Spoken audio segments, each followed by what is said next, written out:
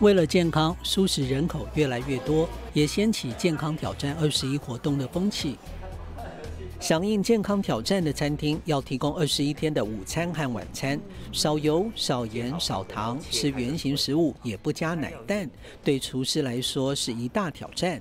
一直蛋白质都是想说是固体，对，豆皮、豆包、豆皮、豆包、固体豆类，它把它转换成一个液态的，嘿，这可以哦。在职业生涯里面习惯用的调味料，全部都不能用，几乎大概只剩下盐。那你要做出大家可能呃会喜欢的味道，啊，那个有多难？后来参加完之后，哦，我真的有点吓到，那些红的变黑的，二十一天而已，食物真的。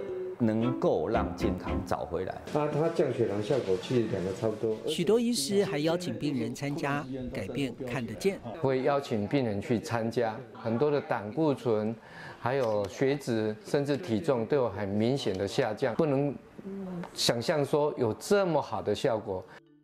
对健康的改变，验血数据是最好证明。马来西亚有一千六百九十四个人参加验血。高血压患者三百四十六人，百分之六十四恢复正常，改善的有百分之八十二；糖尿病患者六十个人，百分之七十八恢复正常，有改善的更高达百分之九十七；坏胆固醇一千一百四十六个人超标，一半的人恢复正常，百分之九十四的人数值降低。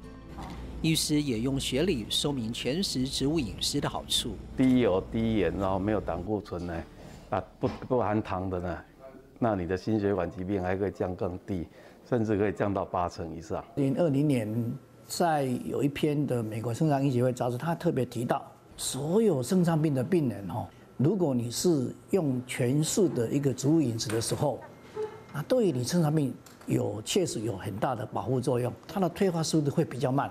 肾脏病的患者来看的时候，几乎都是有进展的，就是三 A 的有进到第二级，那三 B 的呢也是有回到三 A 的。我们中医认为颜色有五行，只有植物这个部分有更多的酵素，更多的综合的营养。改变健康就从改变饮食开始。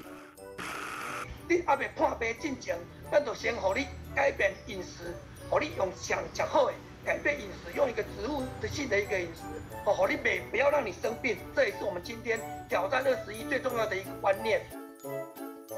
大爱新闻综合报道。